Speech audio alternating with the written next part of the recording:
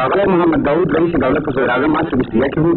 شغال نارين معاون وزارة الدفاع وبعد أعزاء هيئة النظامية هند للقصف الروحانية الجمهوري براء ملاقات وزير الصمت. بل الموقف شغال عبد الله منير سياسي وزارة الأمور الخارجية تقدم على عبد الكريم مسترين لوبرسي وشغال مهتاطة في الكبير هند القبلية حاضر بلند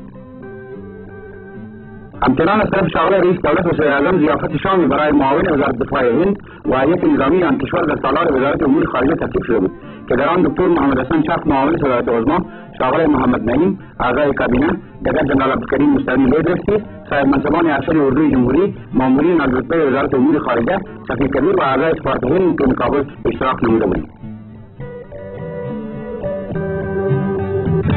البنسلين الصعاب المناقش عليها في إن شاء الله لقانون بتغيير معاني النخاس الجاري سابقيا بين الديكين مساح منطقه الكتل الرقمية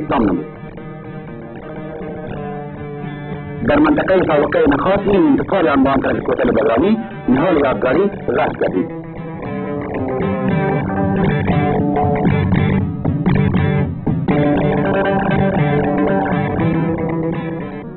افغانستان در پهلوی پروگرام های متنوع مسابقات ذهنی را در مسیر یک تحول سودمند به سابقه قرار داده است.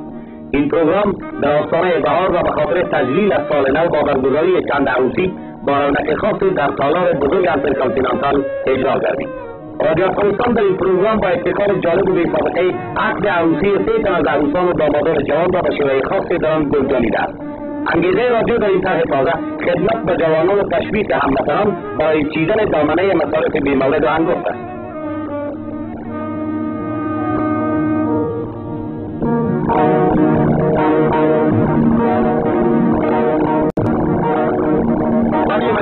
یکی از صحنه های جالب این پروگرام است که یکی از حاضرین انتخاب می شود و بعد داوطلب با چشمان بسته از خلال سوالات منتظم و منطقی برای دریافت وظیفه و استدلال می کند و سعی می ورزد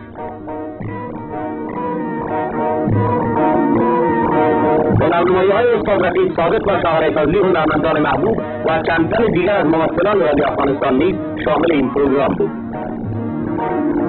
ظاهر هویدا آوازخان محبوب و استعداد رادیو افغانستان در این محفل با سرودن آهنگهای دلانگیز اسباب شادمانی حاضرین را فراهم نمود. مراسم عنعنوی آهسته فرود در میان بیش از 500 نفر اهم از منصوبین عروس و داماد و علاقمندان مسابقات ذهنی به جا می شود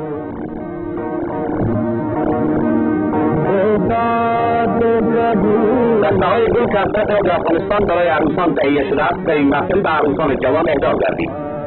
جوایزی که برای برندگان انواع مختلف و ابتکاری مسابقات ذهنی تخصیص داده شده است در پایان محفل به برندگان باهوش و ذکی توسط منصوبین رادیو افغانستان اعطا گردید.